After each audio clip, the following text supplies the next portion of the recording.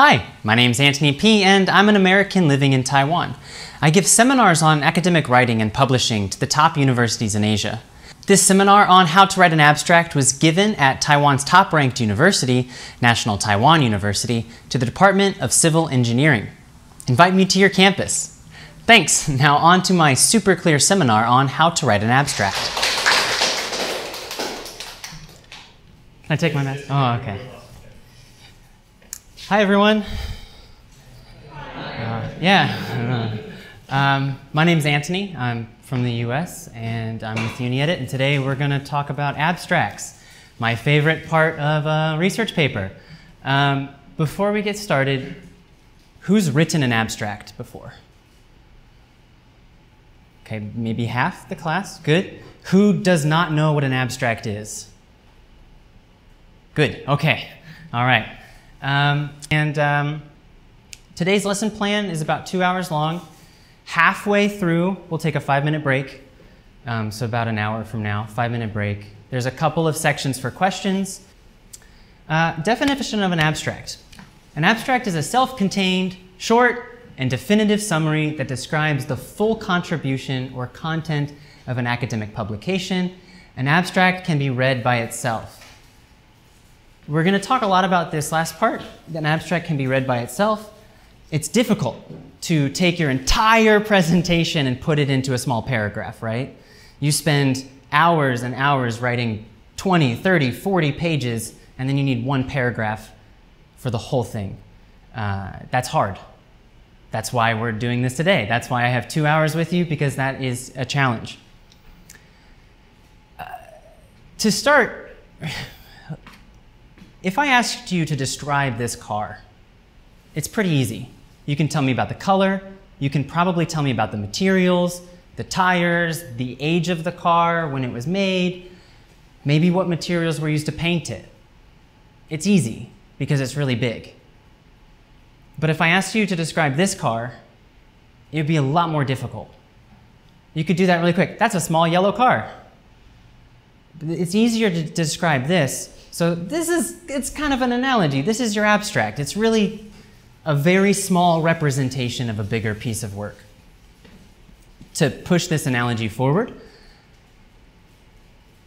there are many illustrations of the same thing, but they're all cars.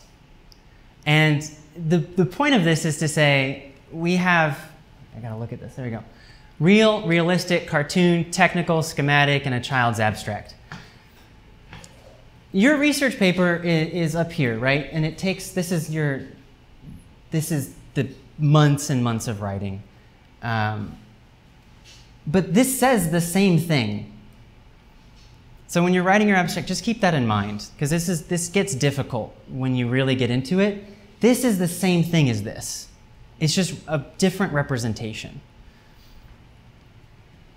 Goals of an abstract part one, I'm going to move through these a little quickly so we can spend more time on the real examples. Uh, you're going to ask yourself, should I read the entire article? Is it relevant? Is it trustworthy? Uh, is it interesting?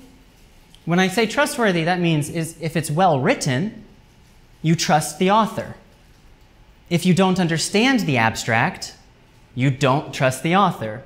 So, trustworthy, when you read the abstract, you're determining should I read the entire article, or do I go find a new paper?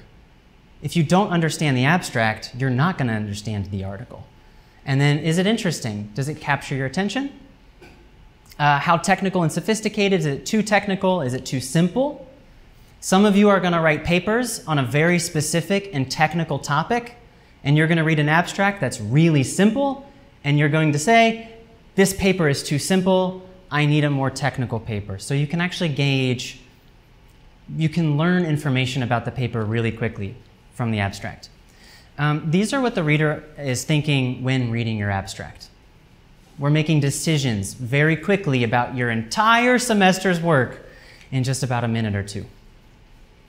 Goals part two, screening by journals. When you're submitting to a journal, uh, if you have a good abstract, you, you proceed to the review stage.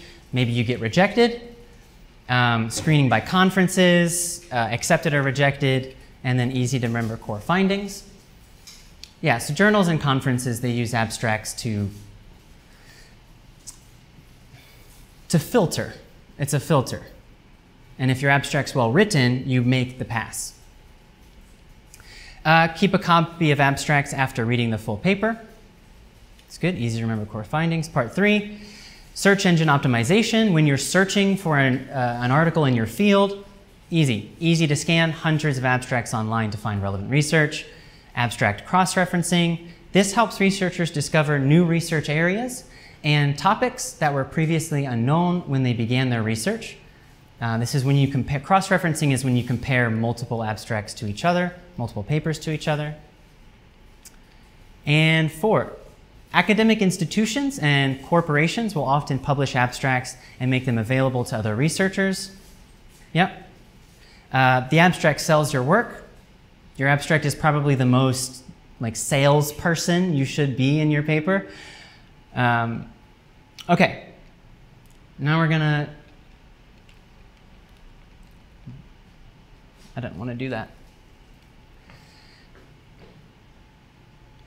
This seems normal. You write your abstract and then you write your paper. We don't actually like this. This is probably not a good idea. The abstract comes first, right? You have your title, your abstract, then introduction, methodology, stuff like that. But because your abstract has all the parts of your paper, you're, you're going to want to actually write your paper, your abstract last, after you've done your full paper. So your abstract comes months after you start writing. You're going to write most of your paper, or at least a good outline of your paper, before you write your abstract. So an abstract is nice because you get a lot of time to think about it, but you don't need to rush. You need to do it at the end. Well, maybe you need to rush, I'm not sure. When to write the abstract? Write the abstract last after the paper is drafted. Your article determines the abstract. Your abstract does not determine your article. Cool. A strong abstract, quick list, tells the reader what to expect, summarizes the contributions, uh, attracts the reader to read the full paper, has just enough quantitative results, easy to full, e hmm, is fully self-contained, and makes sense all by itself. And abstracts differ by field. Are you all in the same degree program? I don't think so. All engineering department. Okay, so similar enough. Similar enough. Uh, well, then good. I can breeze through this a little bit. Parts of an abstract vary according to discipline. Here's going to be your scientific research. Uh, in your abstract, you're going to have motivation, problem statements, method, results, and discussion. Generally speaking, this is what you will all have in your, in your abstract. Uh, seems easy enough, right? Um, humanities will be a little different. Hypotheses, uh, background, and conclusions might be included. Um, it's good that you're all in here together because then your checklist will be the same. And when you proofread each other's abstracts, um, you'll, uh, you know what to look for. It's good. Uh, length of the abstract. I would love to say every abstract is 150 words. That's not true. Um, every journal might be different. Conference abstracts might be different. Theses and dissertations might be different. I would say generally, this middle one is your most common. Uh, but it depends. It depends. Um, here are the different types of abstracts. If you continue with your academic career, you may write most of these in different papers. Uh, so be flexible with yourself. The most two common are at the top, journal paper abstracts and conference paper abstracts. But then you can write research grants, you can write literature reviews, experimental reports, master's theses abstracts, doctoral dissertation abstracts, tweetable abstracts, that's a good one, uh, video abstracts and graphical abstracts. But they all do the same thing. They're all representing your work in few words. Language style for the abstract. Uh, I want to stop here for a second. So your paper is academic English, right? Your abstract is, is a little different because you don't really use citations in your abstract. You don't use industry jargon, which are really specific terms. You use more easily understood terms. Can I slide this over? Um, your abstract sells your work, so it's, it's a little more persuasive than your article. So let's talk about it. Search and use exact phrases so they will turn up at the top of a search listing. That's your key terms. This is like Googleable. Can you Google the paper? Or is the paper impossible to find? Uh, each sentence typically represents a section of your paper. Typically represents, not always. Uh, there is room for creativity as parts may be merged or spread among a set of sentences. In your abstract, it's not uncommon to see your literature review and your problem statement may be in the same sentence, right? You might be able to combine multiple parts of your paper. Um, staccato style is acceptable. What's staccato? Any musicians? Anybody play music? Nobody plays music. Staccato is like uh, choppy. Choppy. You don't need a lot of transition words in your abstract. Therefore, furthermore, those help with flow. But in an abstract, that's less important because you're, it can be very short, right? Your abstract is short, so those are waste of words. Flow is less important in an abstract. Be concise. Long sentences don't really help the reader understand what you want to say to them. Short sentences make sense, concise sentences make sense. Be authoritative. Correct example we implemented a novel approach and evaluated efficiency gains. Weak example we attempted to try. See the feeling difference? We wanted to do this. we tried, nah, we implemented. We did it. We established, we studied, we examined. Be authoritative. Language style continued. Don't provoke the reader into searching for more information by using vague or unclear language. Oh, I love this example. A significant improvement in. This sounds really academic, right? We say this in academia. It's a significant improvement. But what does that mean? 5%? 20%? 100%? You should definitely do it, or maybe you should do it. So this is, this is really vague. And this tells the reader, oh, you need to read my article. No, let's skip that. Just tell them. A 24% increase in. Don't tell me it's important. I know it's important by your data. And your abstract will have one or two key data points. Um, don't compliment your own work. Our groundbreaking study are magnificent, yeah, stuff like that. Avoid jargon and abbreviations. Um, again, jargon, uh, specific terms that you use uh, in your industry. I don't have any good examples at the moment. We will later. Consider the viewpoints of a diverse readership when writing your abstract. Rare, uh, rarely will the reader have back your background knowledge. Your background knowledge. You're writing this paper. You know everything. You know the participants, you know the location, you know the findings, the discussion. The person reading your abstract knows nothing. So it's easy to write an abstract that's too difficult for the average reader. It's really easy. So have your, nobody has your background knowledge. So we need to explain it to them. Uh, keywords, really quick, most publications request keywords. This is good for indexing, how they organize abstracts in their database online searches, um, helpful to assign papers to review committees or editors when your, uh, your paper's fate. Um, you're all civil engineering. Maybe if you're working on bridges, then your keywords will get your paper assigned to maybe peer reviewers that have experience publishing civil engineering with bridge construction.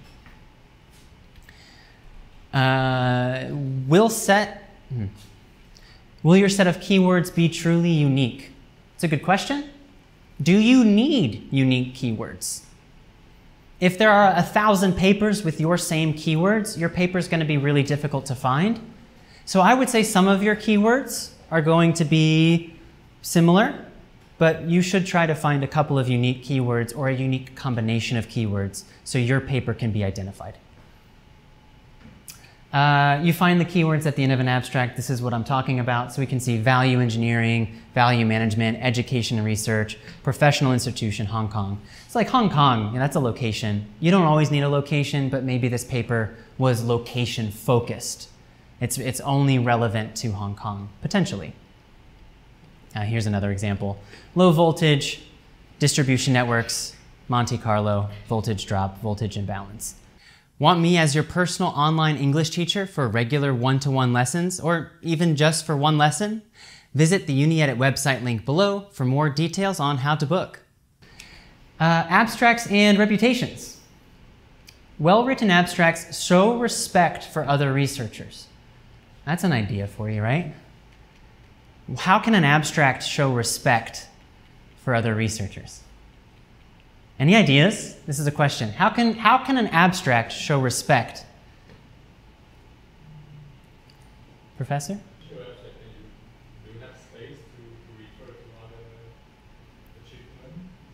Oh, interesting. So if you're cite, if you're citing a different source, maybe. maybe yeah. Okay. Well, well, tell me, tell me if you agree with this. It saves them time if your abstract is really clear and concise, you're going to save people time. A difficult abstract might take five or 10 minutes to understand. A clean abstract takes one minute, sometimes 30 seconds. Um, and it aids in their research process. Many people reading your abstract, they're writing their own paper, right? People that read your abstract, they're, you know, they want to know if they want to cite your paper and that's when you read theirs as well. Well-written abstract leads to a good first impression. It's the first thing they read. Writing process. Uh, rough draft. Have an abstract structure, checklist, to-do list. We're going to do this today. Um, I'll show you many versions of, of, how does an abstract flow. Uh, and you should be thinking about this when writing yours. Write a few sentences for each section of your article. This is not concise yet. You're not writing your abstract. So when you have your introduction finished, write two or three sentences about your introduction. Summarize your introduction. When you finish your methodology, summarize your methodology. And this will form the basic framework for your abstract. Assemble those sentences, put them all together, trim back by removing unnecessary details, uh, this is what we'll spend most of our time on later in this session. How do we write big ideas concisely? It takes years of practice. Um, trim back by editing the language. Have a colleague review and critique your abstract. This is a huge part of academia. You're all team, you're, in a, you're on a team together. You're on a graduating team. You will read each other's abstracts and help, and people will read yours and help and then revise. Revise, edit it, do it again. Writing process, revise. Edit carefully, requires several drafts. Ask a colleague to examine the abstract. Having new sets of eyes to check your abstract can offer new perspectives, perspectives you've never seen before. It can also help you detect new errors and better ways to frame your sentences better ways to frame your sentences. This could be changing the position of two sentences. One of your friends might say, I think this sentence goes better up here. It's good. It, it takes another person to know that sometimes. Okay, write better abstracts part one. These are tips. Get ideas. I'm to check the time really quick. Good, we're making great time. Get ideas from other abstracts in peer reviewed journals and apply them to your abstracts. Get ideas from other abstracts in peer-reviewed journals and apply them to your abstract. For, for me, I can tell pretty quickly if an abstract was written by a native English speaker or edited by a native English speaker, or if it was written by um, someone internationally. That doesn't mean the English was bad that can mean the flow or the feeling was a little different. There are many people that are fluent in English writing, not from the United States, right? However, when getting ideas, you should be getting your ideas from the best journals in your field. Look at the best examples. Don't waste time in, in open access journals. Just go right to the biggest, most important journals because those papers have been edited by five people. Those papers have been internationally reviewed, and that's where you want to get your ideas from. And then apply them to your abstract. Maybe use their keywords, use their grammatical structures. Do not copy and paste, that's illegal. Um, but use their ideas. Uh, emulate their style and apply those suitable to your own paper. Continued part two. Sorry.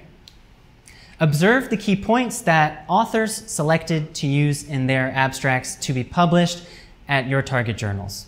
Observe their key points. Um, journals have really specific papers that they want to publish. Um, I spoke with a professor last, maybe maybe a month ago, um, NTNU, NTUN.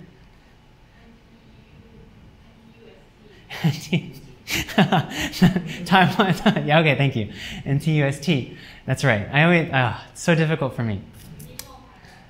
Yeah. Um, and, and she said that when she goes to publish one of her papers in a journal, that one journal will say, mm, this is more IT focused.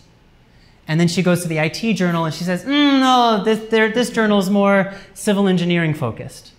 So journals have a really specific idea, a target audience. So if you have a journal you want to publish in, really study those abstracts that are published. Take your time, highlight dozens of abstracts, find their keywords, find what the journal is looking for, find the patterns between the abstracts in the journals you want to publish in. Or read all of your professor's paper and copy them, and then they'll love you. oh, I like these. I like these keywords. I recognize them. Have professors, colleagues, and editors critique your abstract. Again, this is a critiquing and editing peer review. This is a fact of your life now, right? This is a fact. Get used to it be happy with it, and, and participate in the process. Frame your abstract like your article. I believe we're going to talk about framing, and then we take a break, and then we give examples of framing, and we'll do some um, activities with framing. So this is probably my favorite part of the presentation. Follow a standard checklist. We talked about that. Frame your abstract the way that your article is written. Generally, your article is introduction, methodology, results, discussion, conclusion. Your ab that's a flow, that's a story. There's a reason you don't start with your methodology. Because you you need to know why. And that's what your introduction says. That's what your literature review says. So your abstract should be written similarly. Write the abstract last after your paper is drafted. Good. So the structure of your research paper I've, I've, I've done something here. Motivation and problem. This is your introduction section. Uh, motivation and problem, those can be, that's your literature review as well. This is background research. Uh, so these are separated into two. And then you should recognize the rest. Motivation, what is the importance of your research? Why would the reader be interested in the larger work? Problem, what problem does this work attempt to solve? What is the scope of the project? What is the main argument, thesis, or claim? Uh, specific models or approaches used to use are the types of evidence used in the research. Specific data that indicates the results of the project. And discussion, interpret the results to reach the main conclusions. How does this work add to the body of knowledge? Practical or theoretical applications from your findings or implications of future research. Uh, uh if I had to read one section of every paper, I might choose the discussion section. Because this is when the author tells you, hey, my research is important because this is how the industry will be affected. This is what you should do. That's maybe a personal preference. Some people love the results section. Um, yeah, how does your work add to the body of knowledge? And we'll show, I'll show you later, discussions is a great place to end an abstract to keep that in mind, the discussions is a good place to end the abstract. And then conclusions is a short summary. So that was the structure of a paper. This is the structure of an abstract. This is a little more detail. So motivation, why do we care? Why do we care about the problem and the results? Why is it interesting? This is a sales piece. Why, why should I be interested? What's the importance of your work? The difficulty of the area and the impact it might have if, success, if successful? Uh, the difficulty of the area, one of the abstracts we're going to look at today started with this in their paper, and I loved it. Um, it started with the difficulty of the research area, which is really clever, and uh, yeah, it's great. Reasons for conducting the research. Uh, never lose sight of why the research was conducted. I like this one because you are all so focused on, on your paper. It's obvious to you why your paper is important. It's your grade, it's your graduation, it's your degree, maybe it's your field of interest. But for other people, for me, for people in another department, it's a little, it's a little more complicated why your research is important. Problem statement uh, What problem are you trying to solve? What is the scope of your work? Is it a generalized approach or is it for a specific situation? Uh, be careful not to use too much jargon. Those are industry phrases. For some cases, put the problem statement before the motivation, but this usually only works if most readers understand why the problem is important. We all know cancer is bad, right? Cancer is a problem. Okay, that can go before. But if uh, a specific example is hard for this one. Um, if it's obvious, put it, put it first. If it's not obvious, put it second. Methodology. How did you go about solving or making progress on the problem? Uh, did you use a simulation, analytic models, prototype construction, or analysis of field data for an actual product? What is the extent of your work? What important variables did you control, ignore, or measure? Um, I find that people struggle a lot with the methodology in the abstract. Because uh, when you write your methodology, it's really specific language and it's really, you're trying to describe a really big idea, right? How did you get your results? And to put that into one or two sentences is, is, is challenging. But these are going to be your focuses. I think there's one, no. Uh, results. What's the answer? Uh, is it faster, more efficient, safer, cheaper, more reliable? This is where you want to be authoritative. A 23% increase in efficiency. This is what we're talking about. Uh, use the main numerical results. You might have a thousand. you might have data sheets of results. Just use the main one. One, two, three, general rule. If it's five or six, ugh, that gets confusing may be possible. I don't know. Um, keep, keep the number small though. Avoid vagueness, very small or significant. Let's be specific. Some abstracts may discuss the findings in a more general way. That's okay. Uh, if, if I like this, if, if the study was done in Taiwan, but it can have implications around the world, then it might be a more general discussion. Um, maybe that's a good example. Uh, discussion, what are the, uh, sorry, what are the implications of, your, of the answer? Is it going to change the world? That's unlikely. You're all doing research and it probably won't change the world. It might be a piece of a puzzle that changes the world, but your paper might not. But it might be a significant win. It might be a nice hack. Just let us know. That's your, that's the, that's your ending. Are the results general, potentially generalizable, or specific to a particular case? Um, yeah, good. And ramifications. What changes should be implemented as a result of the findings of the work? How does this work add to the body of knowledge on a topic?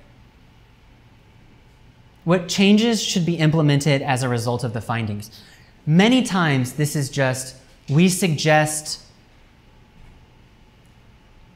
construction companies use our model, right? If it's, uh, let's say you're doing earthquake, um, what would it be called?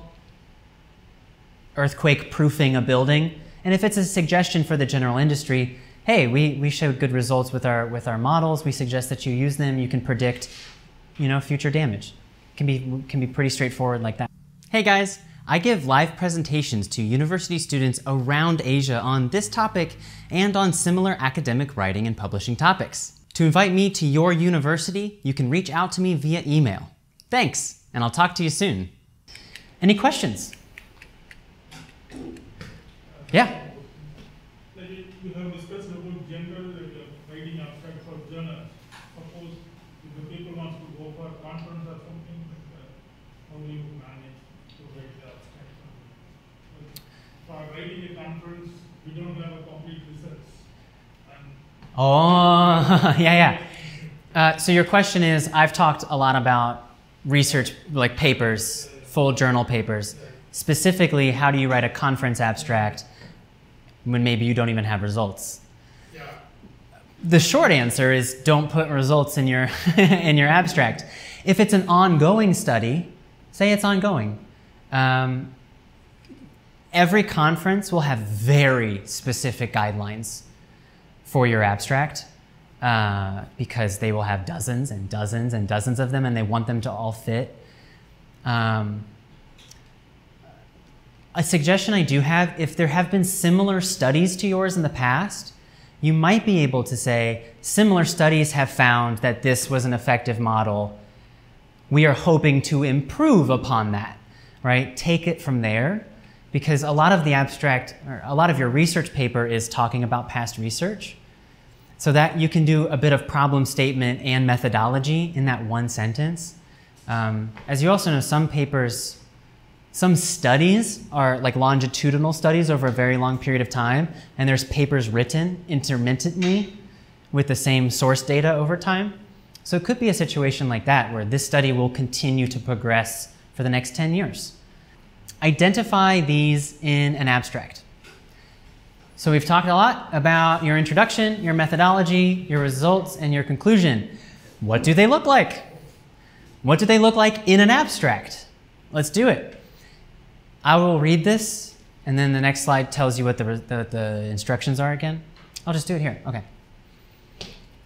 Think about which section goes where while I read it. Approximately 15 to 25 of the US percent of the US working population is classified as high risk for job stress. This type of stress is known to exert a psychological toll on workers. Less is known about the impact of job stress on physical health and how current findings translate to clinically relevant outcomes in everyday life, such as susceptibility to the common cold.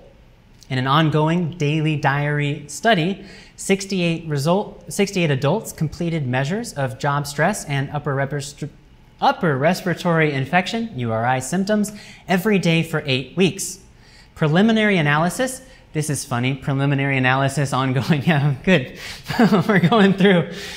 Um, Preliminary analyses show that males who had busier days at work on average also endorsed a greater number of total URI symptoms.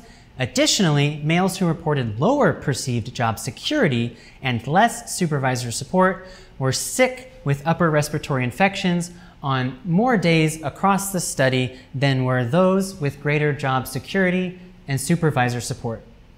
Among females, endorsing more busy days, whether at home or at work, was associated with greater endorsement of URI symptoms. The findings explain our understanding of the links between job stress, between job stress and immune functioning by elucidating effects on clinically relevant health outcomes. You are all engineers and this is a little medical, but it's okay because the key words and the transition words are almost the same. Um, and I'll show you in a second. Introduction section.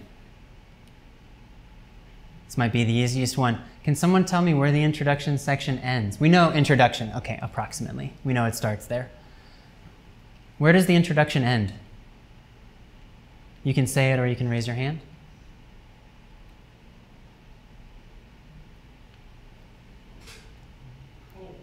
Cold. Right here. Yeah, nice job clinically relevant outcomes in everyday life, such as susceptibility to common cold. How do we know that's the end? Well, what's the methodology?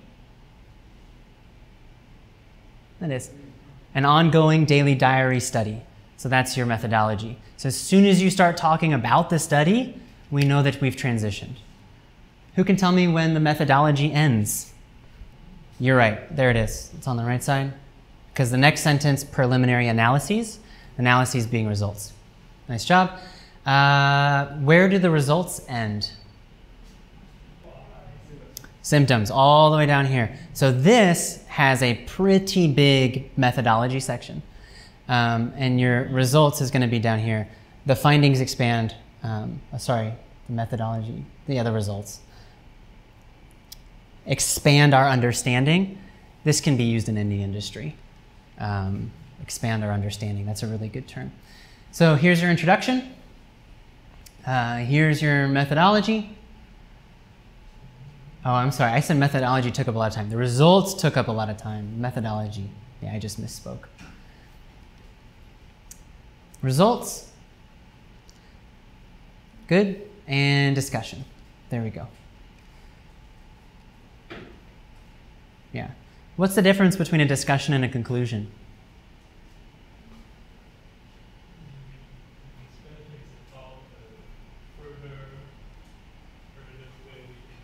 Further research? Yeah. Yeah.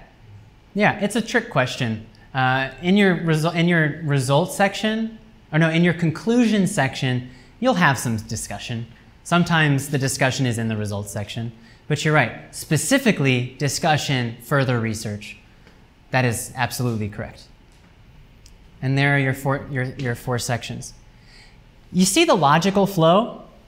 This just moves beautifully between your introduction, so just a little bit, just a little bit of data for past research, and then you read that one sentence, and now you know the importance, right? That's your hook.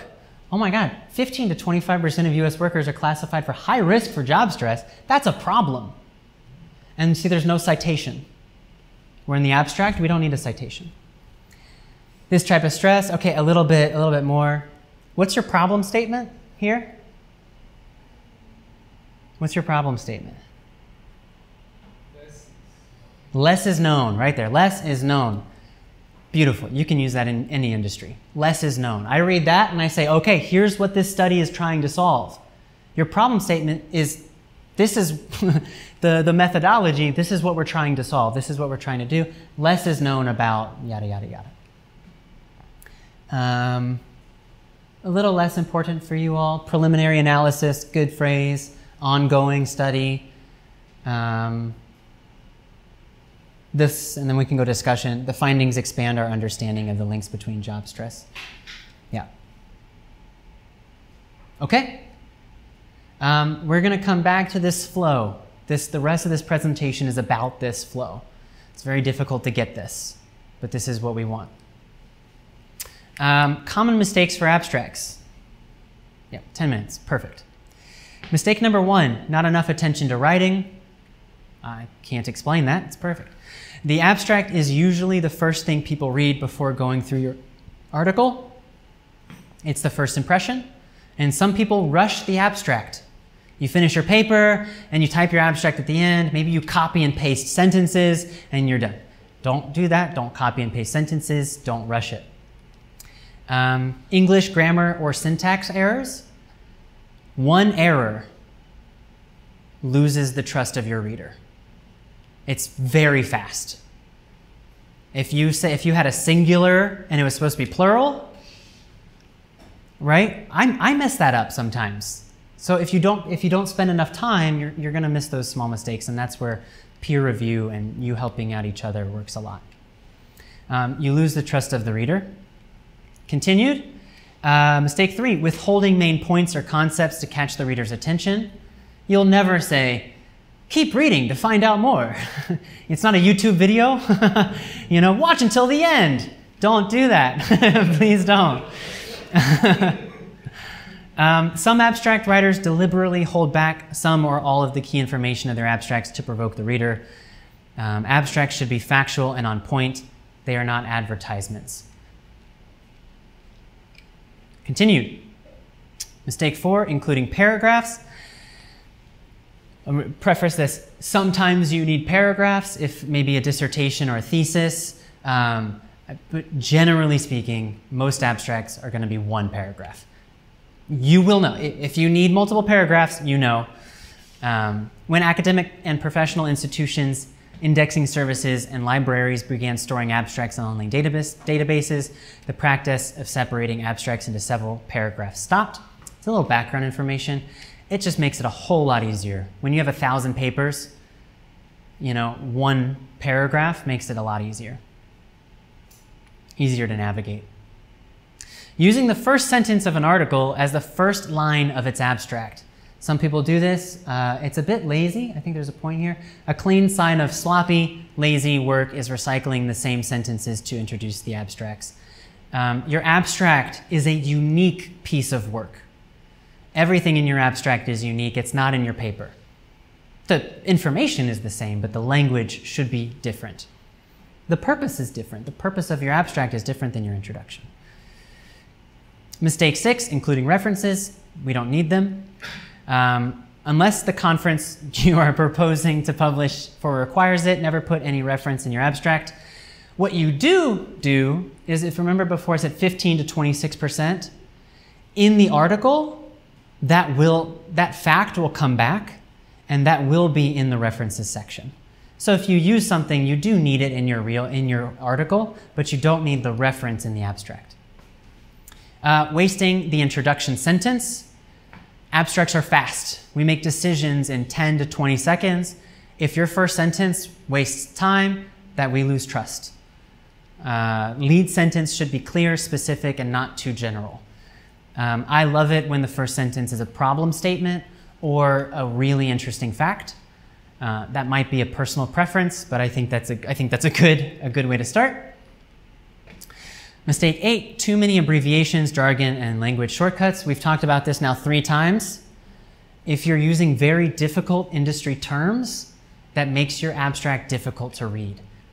Everybody doesn't know what you know.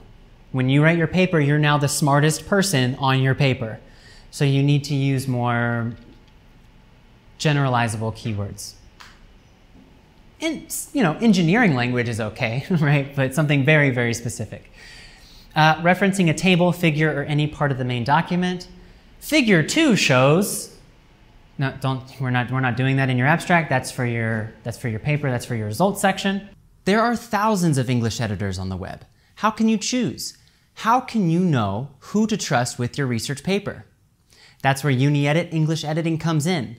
UniEdit is a team of over 100 native English speakers with advanced degrees in all major academic fields. To have your research paper edited by a professional in your field, please visit the link below. So uh, in an engineering paper methodology, if you copied the methodology of a previous paper, but you changed some things, how do you say that? Um, maybe I would need to see the paper specifically, but you could say we designed a model based off of a 2005 study on the same topic, right? You insert the topic there. Um, we made adjustments to a methodology, a 10 year old methodology, or a, popular methodology. Um, or our study was, um, our design was greatly influenced by, that could be okay as well. You're right, that last methodology was one sentence, but their results were like four sentences. So your results might be one sentence, and your methodology might be four sentences. So every paper will be different. Um, it's rare if it's like two sentences, two sentences, two sentences. That's probably pretty rare. So if you have a specifically challenging methodology, yeah, why not? Four sentences. I would say more than four, and you're really getting too much. Four is a lot. Four is a lot, three is a lot, two's good, one's great. But if you need two or three, sure. Sure, take the time. Other questions? Uh, let's jump in with an activity. Here's a well-written abstract example. we're going, similarly, we're going to identify the parts. So we're going to identify a strong introduction section, a review of the current situation or literature review, concise problem statement, methodology and study information, and key results. Uh, let's start with number one. Identify the strong introduction sentence. Well, that's an easy one, right? This study developed. That sounds like methodology. We developed, and kind of is. This is probably in the in the methodology section. So this study chose to do um, their hook as. Huh. How do I say this? So if we look here, um, mine safety procedures during natural disasters that prove the efficiency during natural disasters. It's also a problem statement. So this first sentence does a lot of work. It tells you what they did, and you can assume why. Because natural disasters are dangerous. Right? That's people's lives. And we're trying to improve the efficiency. Probably most of your research is based on efficiency. Um, that's engineering, you are the most efficient people in the world. Um, so they were able to do a lot of work in this first sentence. Um, so there's your, there's your, your strong introduction sentence. What comes next? Taiwan has a comprehensive governmental system dedicated to responding to frequent natural disasters. Da -da -da, damage reports. What section is that? The second sentence. Taiwan has a comprehensive government system. It will be in your introduction section, specifically the literature review. So your literature review in your introduction section, um, yeah, which is in the introduction. Yep. Uh, however, what does that mean? However, it's the problem. However, is the most simple way you can jump into a problem statement. So you have, here's the situation, however, oh, now it's negative. Now we know there's a problem coming. However, the labor and time consumption procedures are inefficient. So we're having an inefficient problem. Um, yep. Next sentence in the study, we propose methodology. Yeah, there we go.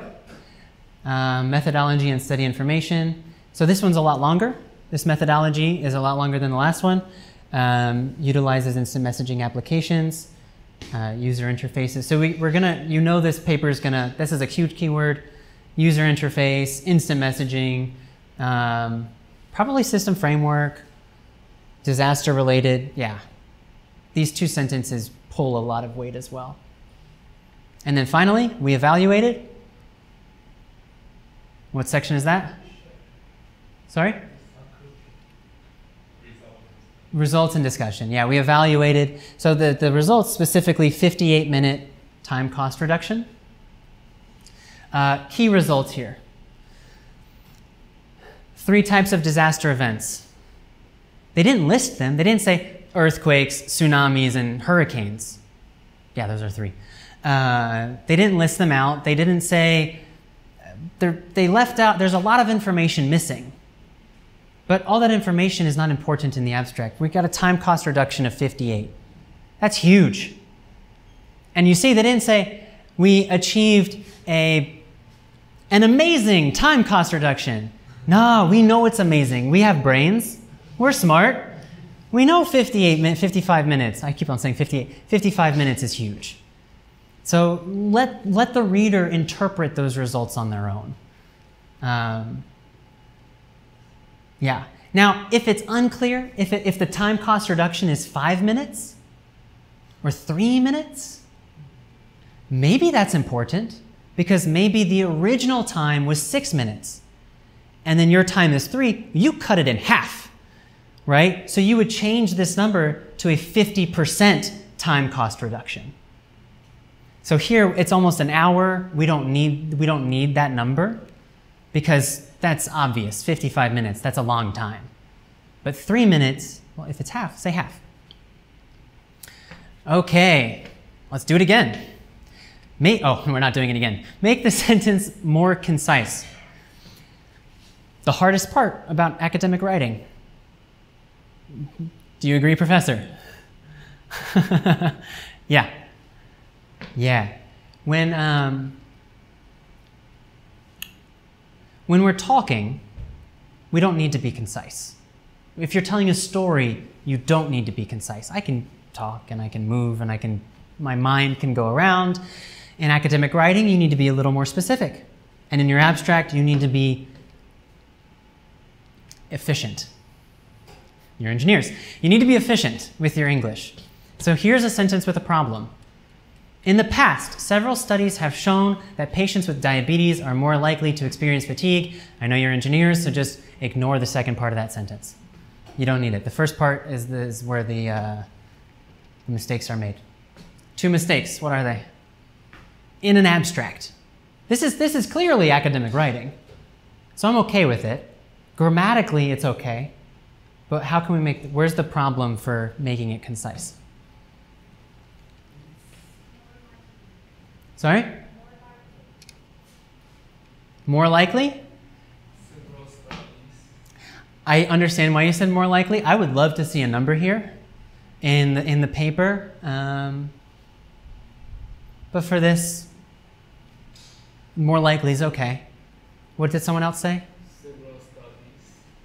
Several studies. We could make, you could say studies.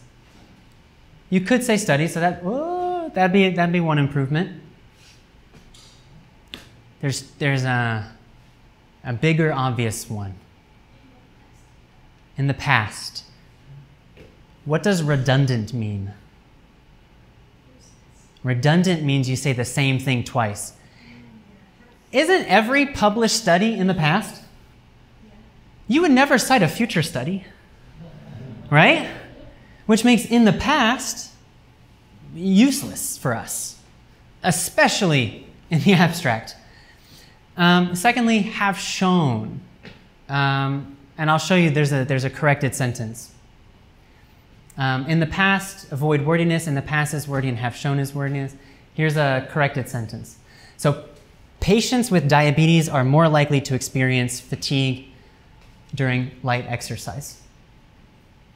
So, we've taken out the, the, the, the several studies completely. Um, are more likely. That's just what we're going to say.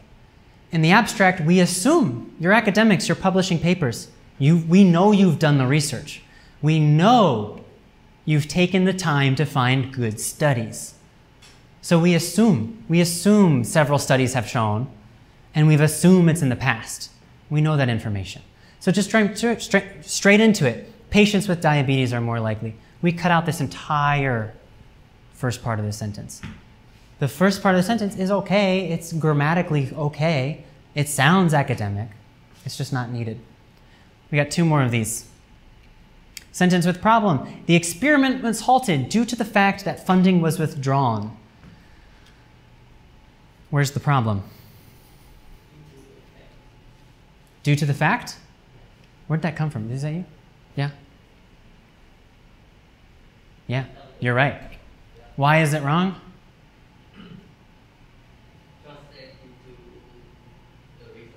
Yeah, you can just say due to the funding was withdrawn. However, it feels a little awkward. I don't know why. But like due to the funding was withdrawn. That is right, but we would just say because. right? That's what we would say. Um, avoid wordiness due to the fact is wordy. Um, and I, I suspect that this is a translation. I think many languages translate due to the fact. I'm not sure though. Maybe Chinese does, maybe they don't. Um, like Chinese to English translation. Um, and your answer, because. The experiment was halted because funding was withdrawn. And this is one of those situations, due to the fact sounds academic, it feels academic, it feels smart, but that doesn't always mean it's, it's appropriate. Okay, example abstract number one. Uh, we received this abstract. Um, I'm not sure who wrote it. Um, we're going to spend some time on it. To the author of this abstract, you did a nice job. Just first and foremost, you did a nice job. We're going to talk about things that almost all abstracts do wrong and we're going to use your abstract as an example. So, I'm, so, so just be clear, this is not a bad piece of work. Um, they make similar, uh, there's patterns in this that other people definitely are doing. And we're going to talk about making sentences more concise, and we're going to talk about ordering of sentences as well. So we're going to do the things that we've, that we've talked about. Uh, this is a long abstract. Um, for our discussion, we're mostly going to focus on the first paragraph. If you want to read the second paragraph, go ahead. I'm not going to read this. I'm going to drink some water. Take like three minutes. Get to know this first paragraph. We're going to spend some time on it. Let's, uh, let's jump in. Strong points. This abstract did some things well. Let's talk about them. Effective introduction to the field. Uh, the beginning of this abstract was, was pretty clear. We established very quickly what we were talking about. Um, specifically, we talk about wildfire records, uh, Taiwan's yearly burn, uh, burn area in Taiwan that burn an area larger than point, uh, 0.1 hectares. Um, we have good study information here. Uh, most uh, time, spring and March, uh, in March and April. So this was a, a time specific, um, which is great that we put that in there. And the occurrences in Taiwan, uh, Taiwan's wildfires might differ from typical wildfires. So here's your problem statement, might differ. So there's doubt, right? When you put doubt, that's your problem statement. Um, this is a pretty good, this is a pretty strong introduction. Uh, it has key information on the study's location and environment, and this introduction cues the reader into the problem. Uh, if, if we had this first sentence down here. So let's say it said, the occurrences of Taiwan wildfires might differ from typical wildfires worldwide, which generally occur in arid and hot conditions. The official wildfire records indicate that there are more wildfires. It's just too far away. It takes too long to understand that Taiwan has fires, and we all know fires are bad. So they don't say dangerous fires. Every fire is a dangerous fire. Um, every bridge collapse is a dangerous bridge collapse. There's easy, every tsunami is a, is a dangerous tsunami. Uh, another good point clear results. I like this one a lot. Anthropogenic activities are shown to be the primary cause of wildfires in Taiwan. Anthropogenic means like human caused. So humans cause the, prime, uh, the, the, most wildfires in Taiwan. See how much fast this, see how small this sentence is? And that gives almost all the, the key results for this study. Um, this sentence is super concise. Uh, this sentence gives a lot of information and not a lot of words. Um, so humans cause fires in Taiwan. And we all know, how do you fix that? Well, education, um, restrictions, laws, right? They're, they're, we know that. And so this sentence does a lot of work really quickly. Suggestions for improvement. Again, these suggestions have, could be applied to every paper I've ever edited. This is not this abstract specific. Um, I believe this abstract might not be framed like the article. It could be. I have not read the article, but I believe it's not. And here's why. The colors indicate different sections. So in the red, we have introduction. And it feels like the main religion in Taiwan is Taoist, Taoism. Taoist festivals involve fire rituals, burning paper money, um, consequently. So this, this feels like introduction. You're talking about background information. You're talking about location information. But it's located down here. There is a chance that this paper had two major sections and therefore needed a second part. You might have two, sec- two major sections and you might need a second part, but it's separated. Um, literature review is here as well. And then we have methodology in two places. The reason I suspect this paper was written a little differently is because the methodology is separated. Um, however, because I didn't have the paper, if another paper was written like this, why, why is this a problem? for an average paper. For an average paper, why is this a problem? Anybody?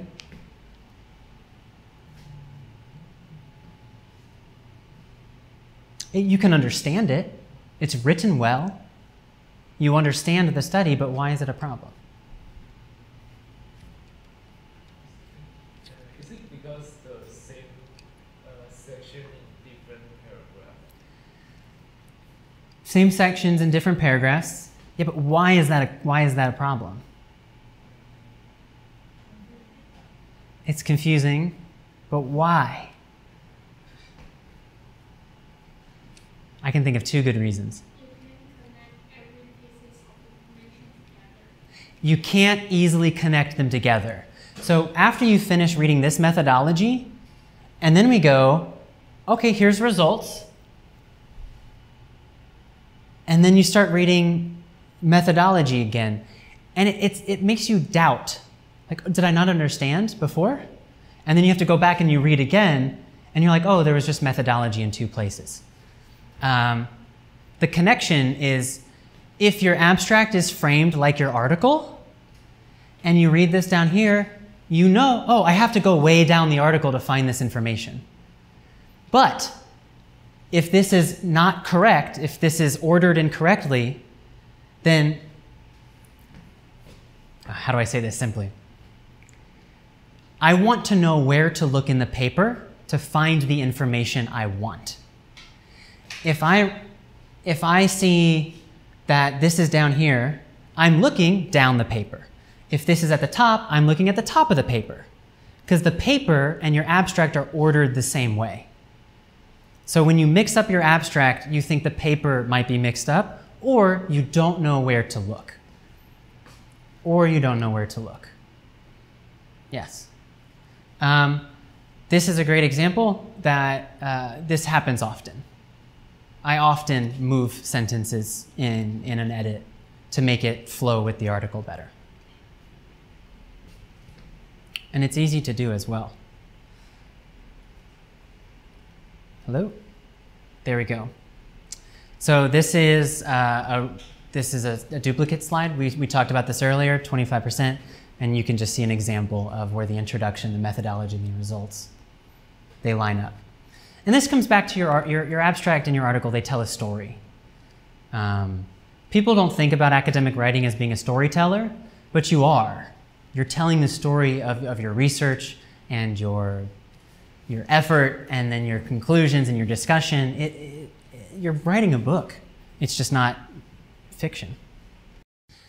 Many researchers tell me that writing their research paper directly in English is very difficult and time consuming. So they choose to write their draft in their language first, such as Chinese, Japanese, or Korean. Nevertheless, the paper still needs to be translated into academic English for submission to an international journal. UniEdit has a world class translation service that can translate your academic research into academic English. Please visit the UniEdit website link below for service details and price information. So, restructure suggestions restructure your abstract to follow the structure of your paper. The abstract and paper should tell a story. Um, on the improved abstracts, the readers can easily identify the sections of the paper and jump to the sections of the paper that interests them for deeper reading. You can jump. You can jump to the paper. Okay, write concise sentences. We're going to spend some time here. Um, and the good news is, is this is wildly applicable. So here we have two sentences. The official wildfire records indicate that more than 10 fires are reported in Taiwan yearly that burn an area larger than 0.1 hectares. According to this, according to studies, wildfire occurrences have increased in Taiwan. Uh, second sentence, immediately, what can we delete? According to studies, we can take it out. Um, more difficult, more difficult, you can do the same thing in the first sentence. Official records. You can also take that out. We know they're official. We know because you're writing your research paper. You're writing your research paper. If the if the record, the specific record is important, like Taiwan's government, you can mention that in the introduction, right? If the, if, if the specific record is important, but you don't need that here. So we've deleted, according to studies, we've deleted the official wildlife records indicate. Can we combine the two sentences into one? What's the most important part of sentence two? One word. Sorry? Uh, sentence two. What's the most important word in sentence two? You're right. This is, we're keeping this for sure. That's staying. Increases. Increased. If you take increase and you just put it into sentence one, you can delete sentence two completely. It would go, the fires increase, increased. An increasing number of fires have been reported in Taiwan. That's what we're trying to say. So we can get rid of sentence two. Let's look at the tracked changes. So here's, if I'm editing, here's what I do. So delete the entire first part, reported in Taiwan yearly. So Taiwan is experiencing an increasing yearly number of wildfires that burn. We're keeping it, that burn an area larger than 0.1 hectares. And we're taking increased in Taiwan and we're putting that right here. And we just, and what does that look like? 17 words compared to 32. And I believe, tell me if I'm wrong, these two sent these this first sentence and the second sentence, I believe they say the same thing. I believe the information has not changed. Take a second and look at it.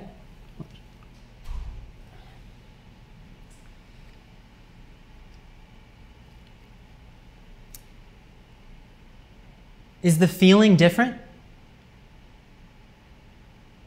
Not really. Not really. The first sent these are definitely academic writings.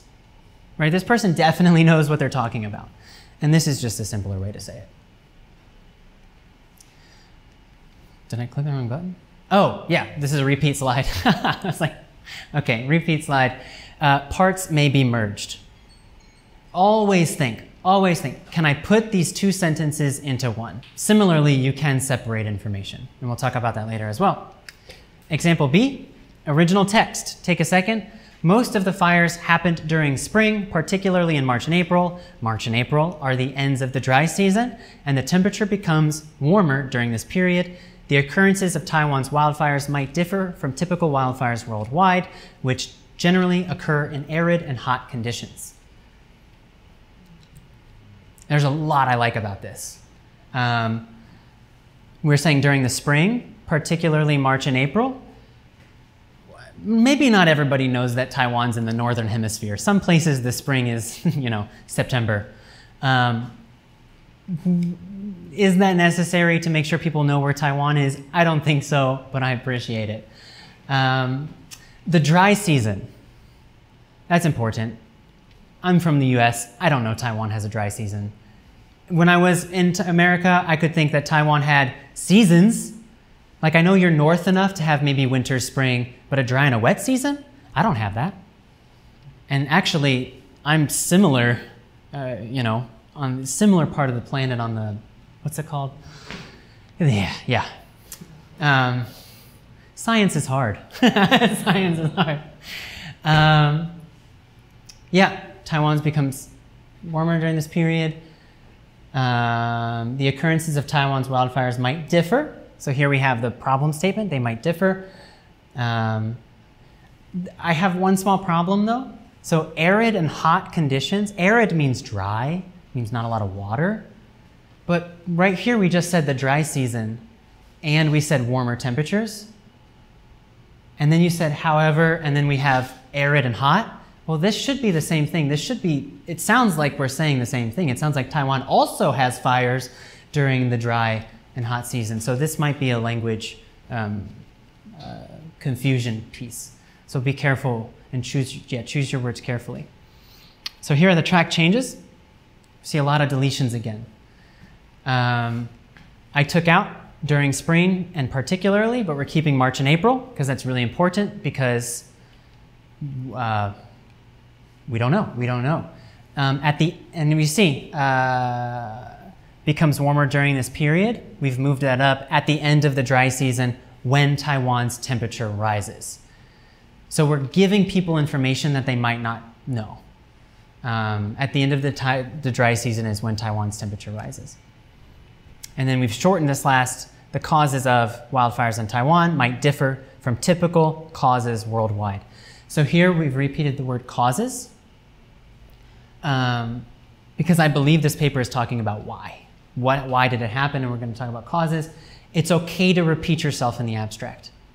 Don't feel the need to use five different terms for the same thing. Just repeat yourself. Totally fine.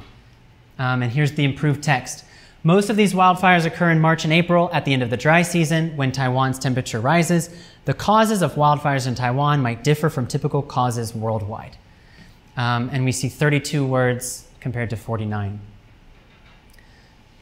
Uh, yeah. Any, any questions before I move on to the next example?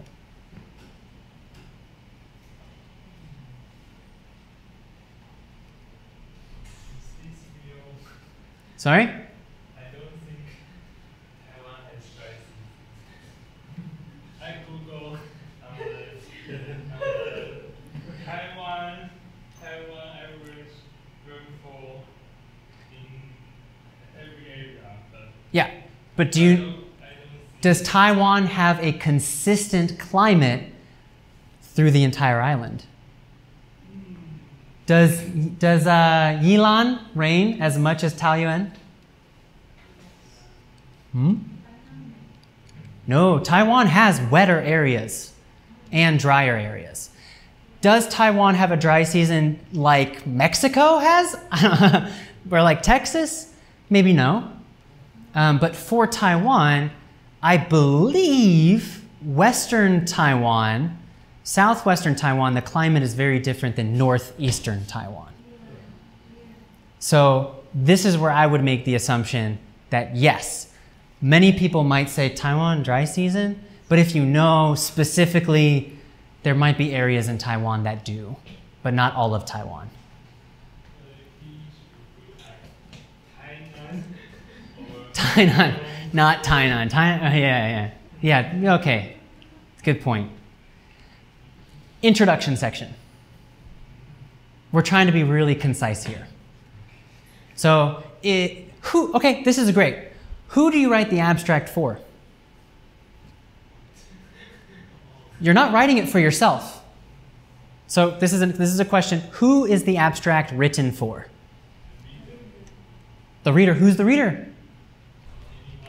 Anyone. Anyone. Right? They could be in Tainan. They could be in Tokyo. They could be in Ohio, Cincinnati, where I'm from.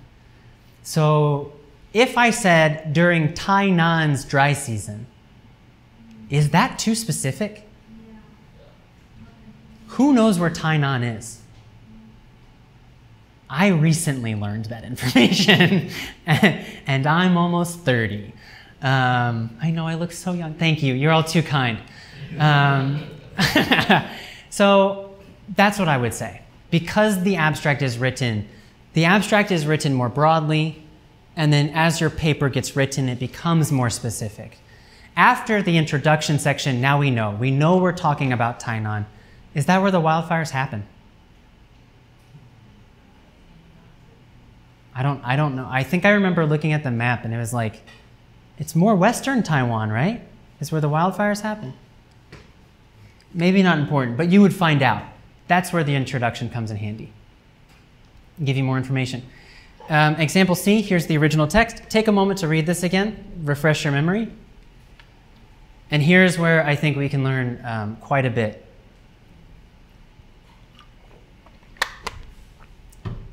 Right in line with the last point.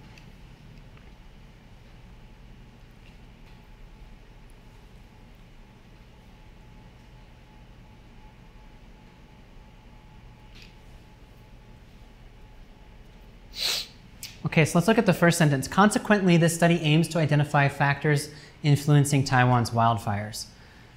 Again, this all feels really well written. Um, consequently is a transition word. You might not need it, right? It's the abstract we know. We know you're, we know it's all, we know it's related. We know every sentence is related. So we might just be able to delete consequently. Um, this study aims to identify is a little vague. You might, you might be able to say this study identified. This study identified five, right? It, it doesn't really matter. Identified five materials that could be used in future construction projects. Um, investigates wildfires. Okay, we have a date. This is great. It's simple. We know it's, we know it's relevant. Sometimes you don't need the date, sometimes you do. Um, I think it's okay here. Uh, to determine whether temperature affects wildfires in Taiwan. This is a little more specific, um, and it's, I almost think it should be, I did, well, we rewrote this sentence. So this is a really important sentence, and we made it, we made it feel that way. Uh, the following influential factors are, are considered. Then we show a lot of phrases, a lot of jargon, a lot of industry specific terms. How many people need to know normalized difference water index? Not many people. Unless if you're a professional in the field, then everybody knows it. But for the general audience, we can, we can delete that. Leaf moisture, there we go. That's, I feel good about leaf moisture. I know what that means. I don't know what this means. So we can delete things like this. We can delete VPD, normalized difference vegetation index. These are very interesting for professionals in the field. But for a more general audience, let's put, let's put those in the introduction section. They're useful in the introduction section. Um, same and religious activities. Knowing this paper, I might have put religious activities first because the paper finds that religious activities cause a lot of wildfires. So let's prime the audience. Let's put religious activities first because we know that's a, uh, an important. We know that these don't end up being the biggest influencing factors. They are, but they're not the biggest. Here's the track changes. Um, again, so we'll start at the bottom here. We deleted those phrases. Um, and then we repeated this information here. We moved it up to the first sentence. So it's deleted, but it's moved up. Um, and it's combined. We deleted this part, but it's combined with this part. it seems a little difficult, but let's look at the, the final result. To determine temperature's effect on wildfires in Taiwan, the study investigates the wildfires from 2010 to 2021 by analyzing precipitation, relative humidity, yada, yada, yada, yada, yada. So before they said the following influential factors are considered, and then a good list if you were analyzing different things, materials, dates, locations, by analyzing. Just get right to it. This is what we did, we analyzed. Um, also, when you say by analyzing, that's your methodology. Well, how did you analyze them? What tools did you use? What things? Oh, okay, that's later. That's later in the thing. We don't need to talk about it. Analyzing is okay. Um, before I move on, this practice of making things more concise, I can't tell you. Like, if I edit a paper into native English, the paper becomes shorter every single time. Every time. No paper I've ever edited gets longer. Um, and that's not just Taiwanese papers. That's papers from Brazil. That's papers from Japan. Um, because you are all the best experts on your paper, it's so easy to keep writing because you have so many ideas and you have so much knowledge and you have so much time. Longer sentences don't make your meaning more clear. So spend some time. Every sentence you write, ask yourself can I make this sentence more concise? Can I combine sentences? This should take up the bulk of your writing the bulk of your editing. Write a lot for a month and then go through, make it smaller. Um, I've shown you here that we can combine sentences. Yes, everything you write is good. Everything I edit is good. It's all good information. But can you say it more effectively? Okay, abstract example number two. Um, I want to have time for questions. I know we're, we're about 18 minutes away from the end of class. So I'll give you a couple minutes to read this. Okay, let's talk about what this what this does well. Um, this does one thing well that I think is it's probably the biggest strength of this abstract, and it's it's it's lovely. So strong points. Um, directly into the problem. If we notice this first sentence, first sentence, due to the difficulty. All right, just get on with it.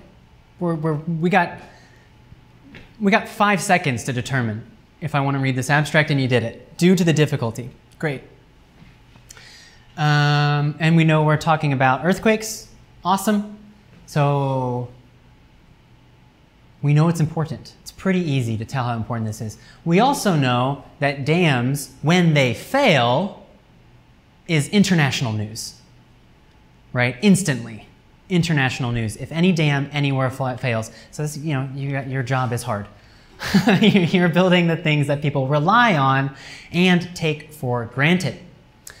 Um, here we go. This abstracts jump directly into the relatable problem statement. Starting with a problem statement is powerful for some topics. Uh, clear discussions. This is one of my favorite parts for this author. Uh, the 3D DEM analysis is therefore useful and is suggested to be applied to assess the performance of the concrete dams in the active fault zone. That's great. This is awesome. Um, it's so awesome that I might even put this towards the beginning um, as a hook. We designed a 3D DEM analysis that, is, is, that accurately assesses the performance of concrete dams in active fault zones. It's such a powerful statement that it could be first as a hook. It doesn't follow your research paper's order, but if it's a hook, it's obvious. We designed, you don't need to do it, but because this has industry implications, the industry can use it, means maybe it could be towards the front. Tells the reader that this research has implications for real industry, tells the reader that this research's 3D DEM analysis was successful. Yep. Suggestions? Um, this, is the, this is just the, the big one. Move the study's purpose up. This study simulated the failure of the Shigang Dam. Shigang? How do I pronounce that? Am I close? Okay. Dam uh, earthquake by using three-dimensional model based on discrete element method, DEM. Why do I want to move this up?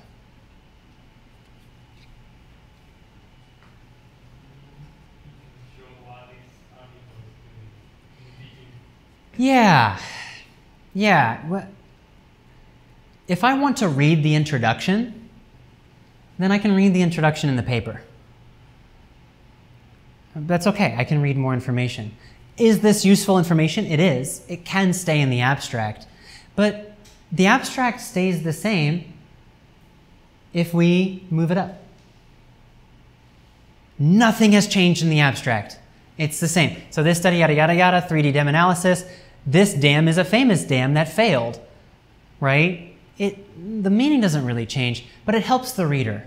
It helps the reader understand your research faster. So this author believes that all of this information on the history and methodology and stuff like that is really important. So that's okay, we can keep it. But the, the, the, the reader needs to find out much more quickly. Because what does the purpose do? It, as the reader, it tells you if they're going to talk about things you want to know right? It talks, it does this paper cover information I want to know. I'm not sure that this information tells you, but that purpose statement does. Um, yeah. Small other thing, I can't say this for sure because I'm not a civil engineer. This paper uses a number of different terms that might be okay.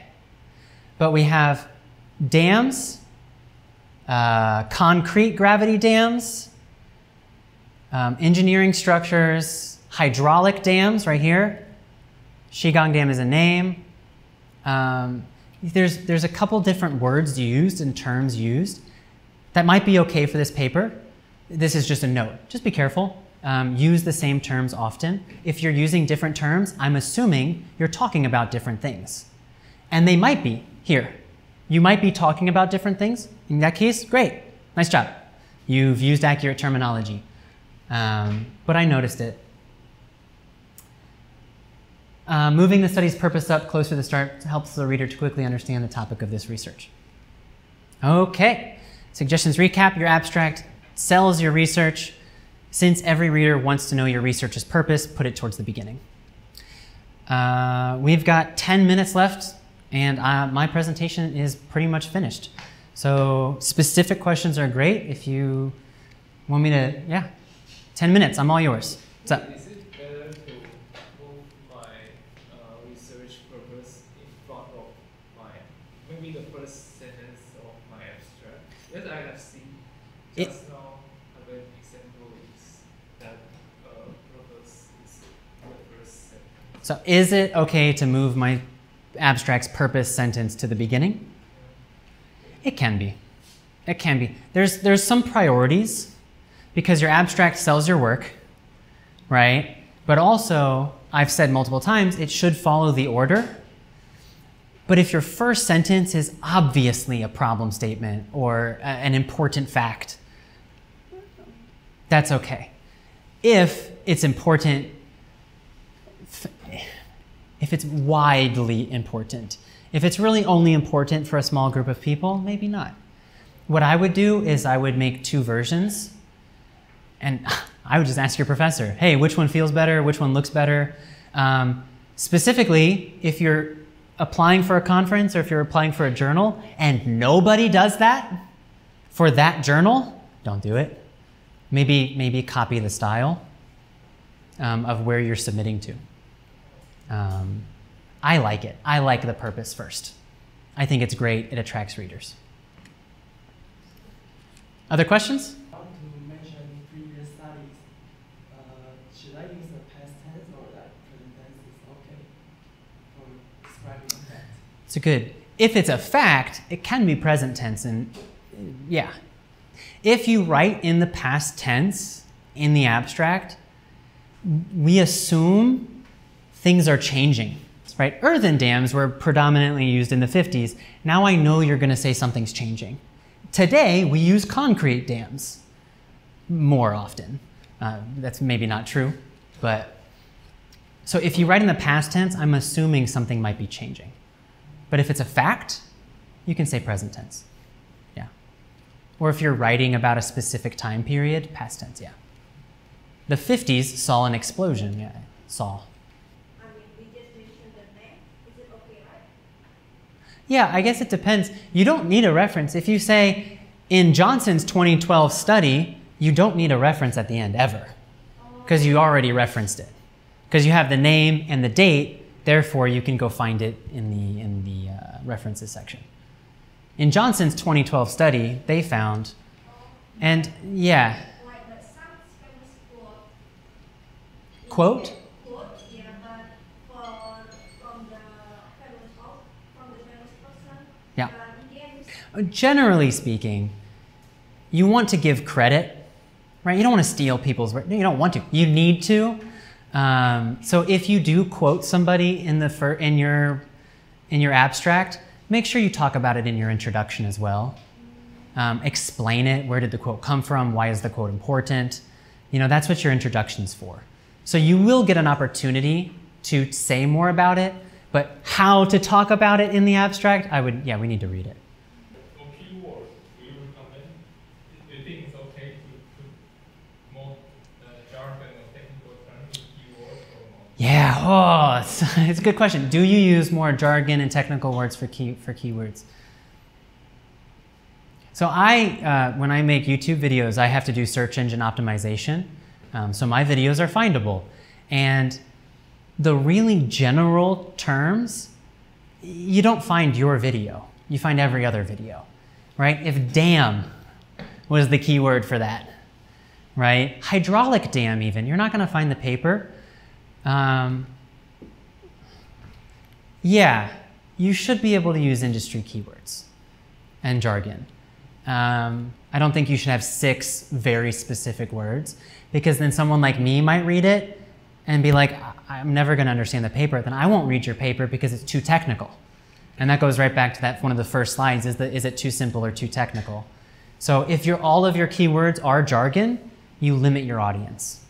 If you enjoyed this video and you want to get more super clear explanations on academic writing and publishing, then subscribe to the University English Hub. Thanks, and I'll see you in another video.